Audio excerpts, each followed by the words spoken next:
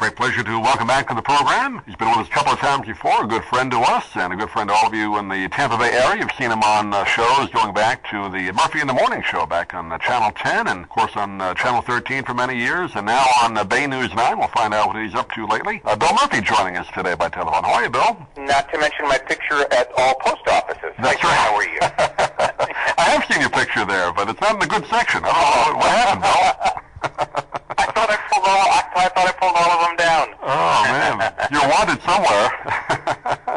Uh, well, that everybody needs to be wanted, you know. I actually did see your picture in a place called Mixon Farms, or the Orange Grove uh, store down here. They had your book for sale. I think you might have done an appearance there not too long ago, so I did see your picture in a store. They are terrific people. I'll tell you, Mixon Fruit Farms, uh, and I, you know, if people haven't visited Mixon Fruit Farms, they really need to. I mean, I hadn't been down for a while, and they've added a, a tram tour, and they have like a little uh, uh, uh, wild animal farm or what have you. And uh, inside, uh, so I'm doing a commercial for them. I'm really nice, but they have little free tastes of a lot of the stuff, and, and I'm I'm big on free tastes. I'll tell you.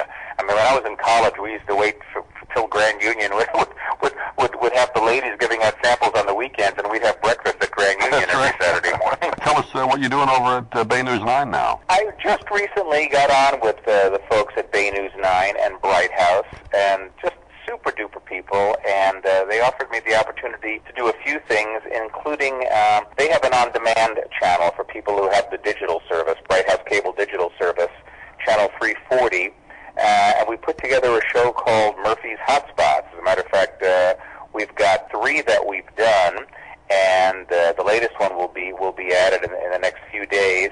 But you can me uh, downtown St. Petersburg. We visited Ybor City. We visited Sarasota, St. Armand Circle.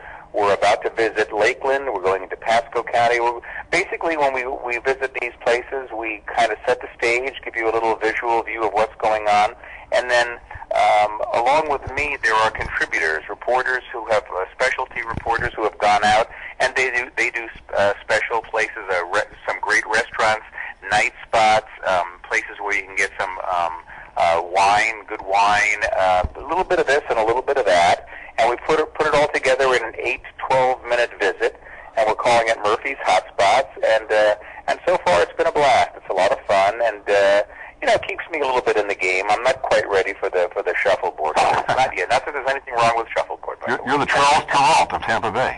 On the Well, road. I, I woke up one morning. Yeah, well, No, that's that's the ultimate compliment. I mean, Charles Kuralt didn't get any better than that. But as as I told some folks uh, at the Tampa Tribune and and, and the uh, St. Pete Times when they interviewed me recently about going back to work, I said, well, I went to see the doctor and he they ran some tests and they diagnosed me uh, having a very bad case Brett Favre syndrome. That's right. so I was just not ready. I was I was Brett Brett and I have that in common.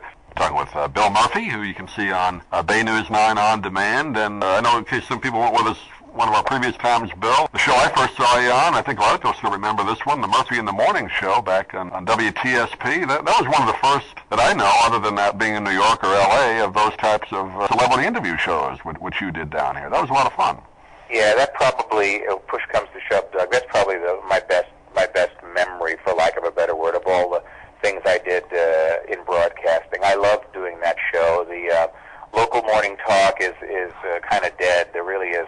It costs a lot to produce a local show, and also we didn't have the kind of traffic that you have in New York or you have in in uh, L.A. Uh, and that, and those markets. So we did the best we could with what we had, but. Uh, you know, we had dinner theater was in its prime back in the mid '80s, Right, and I had Showboat Theater, some yeah. wonderful, you know, and and quite frankly, the, the the the stars that did dinner theater were so much better guests because they they they had already established their stardom. They didn't have the egos, and it was just you know Debbie Reynolds and uh, and and uh, and that that that type of person, as opposed to these young stars who sometimes uh, you know come in with an ego bigger than the door. They're kind of a they're kind of difficult to uh, to interview. So for me, it was great, and you know that show went off the air. I think like in uh, in 1991, and a day does not go by that someone does not talk to me about Murphy in the morning. I give you credit for it today, but it already happened a couple of hours Did it? Okay.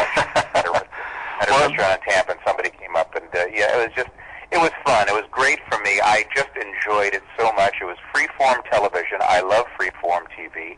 I don't like being, you know, stuck on a script, and and uh, unfortunately, I had the freedom to do that for the better part of seven years. Well, well I, that was one of the first shows I saw when I moved down here, and of course, uh, living in New York, uh, you get to see like Regis and then some of the other shows. I, I Oh, think yeah. what you did, and, and which I have always enjoyed, uh, you did it in a similar kind of way to, to what Tom Snyder used to do. That's why I like those kind of shows. You never quite sure what was going to happen. It was fun. You were saying all the right things. Tom Snyder was uh, probably the two people that influenced me the most, getting growing up and wanting to get into the business, were Johnny Carson and Tom Snyder. Yeah. And I'd say that Tom Snyder probably had more of an influence on me than even the great Johnny Carson. So you pay me a great compliment. Thank you. I was watching some of Tom. Uh, they have some of his interviews up on YouTube, and I've always liked him because he had a little bit of an edge to him. Sometimes the guest maybe wasn't there, and he got a little ticked at him, and that was great television. You know, It was- I used to love to watch the Tomorrow Show. For the folks who are not familiar with what we're talking about, the show that followed the Carson Show, Yeah. and uh, there was Tom Snyder. He was like six foot four at least. Big guy, yeah. Big, big, lanky guy, and he was a chain smoker. There Yeah. was smoke all over. How, how times have changed, but. Uh, uh, I remember when he had uh, Sir Alfred Hitchcock on. I remember when he, I think he did an interview with Charles Manson. I remember when he had Kiss on, the the, the, rock or the hard rock group. Uh, yeah, he was. His shows were great. I, uh, I and and uh, and his jokes were funny, and you knew when to laugh because he would laugh as soon as he told them. That's right. but that's one thing. I went out here to knock the current uh, morning shows that are on, but basically, you know, there's, there's nobody interviews anymore. I, I enjoy a good long form interview, and you don't see that. You get maybe two or three minutes on you know the network shows, and the local ones are basically infomercial shows now. So I mean, it's gone away. that hasn't it? seems to be what it, what it's become. You know, there's nothing you can do about it. It is what it is. But uh, I couldn't agree with you more. Uh, but uh, hey, you know, uh, every generation um, um, thinks that uh, that that their time was was the best, and I'm sure that the uh, the current generation feels the same way. What do you make of, of the late night TV situation, Bill? Uh, you got Jay Leno now moving to uh, five night strip show at prime time, and you got Conan now uh, on the Tonight Show slot. David Letterman apparently is re- taking the lead there. Or what, what do you make of the whole situation late night?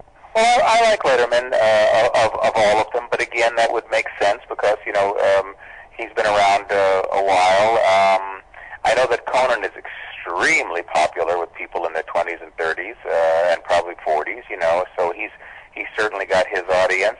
Uh, Leno, this is this is cool to see the networks actually take a chance. They they're they're so they're, they're so cookie cutter. You know, to see to see uh, you know the, to do this 10 p.m. show and, and and see what will happen. You know, years ago, I I was asked before Jay took the show, I was asked to introduce him at the Tampa Bay Performing Arts Center, and uh, I was a nervous wreck. And I'm backstage, and, and and Leno comes bopping in all by himself, not with an entourage, and I was so intimidated, believe it or not, even doing all those shows. That I really didn't. I didn't really have much to say to him. He just he he just kind of said, "Hey, how you doing?" I said, "Hey, I, you know, I'm Bill Murphy. I'll be introducing you." Oh, cool. Blah blah blah. And uh, he asked me one question before I introduced him. He said, he said, uh, he said, "Are you familiar with the area?" I said, "Kind of." It was Tampa, and he said, he said, he said, "Where do the hookers hang out?" and I thought, "Oh my God, what did he mean by?" It? So I didn't know. I didn't know the answer. Turns out, I think Nebraska Avenue is, is was back then at least a real saucy. I think that was but I knew some part, of the, some yeah. of, yeah, but I knew the girly clubs were on Dale Mabry, so I told him Dale Mabry. I said, "Oh, Dale Mabry," and I thought I was. I, I, I mean, I really thought to myself, this guy wants to know for later on. Well, little did I know about about a half an hour later, after I introduced him, and I sat in the audience, and then he's doing his bit. All of a sudden, he said, "He said, by the way, I forgot. I wanted to thank Bill Murphy for doing such a good job introducing." He, Bill couldn't stick around. He said he had a date on Dale Mabry, and the place roared, even, even though even though it really would, didn't make that much sense. But uh, I, I always remembered how he kind of he kind of set me up that way, and uh, two and a half hours he had the audience in stitches. I mean, I was crying, and you know, I, I- in my heart, I've always been a frustrated stand-up comedian who didn't have the courage to to try to pursue that career. But you know, I, I could go out maybe and do three minutes, then I'd be out of material. This guy went on for two and a half hours, and uh, it really proves, uh, you know, whether you, whether or not you liked him in the Tonight Show slot. I, I liked him. I wasn't crazy about him, but it wasn't his fault. It's uh-huh. just how do you how does anybody replace Johnny Carson? It's uh-huh. just impossible.